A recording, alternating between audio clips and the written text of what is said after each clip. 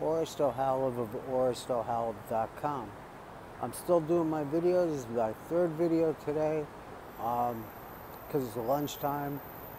And it doesn't matter to me if anybody's looking at me. It just does not matter. I need to do what I need to do. I need to get my message across. I need everybody to know that yes, you can, you can do what you want. You can, you should go, you should go and do what you want. You don't want to be lying on your deathbed with regret, saying, you know, I, I wish I'd followed my dreams instead of instead of instead of just being told what I'm, what I was, instead of just doing what I was told to do. Love y'all.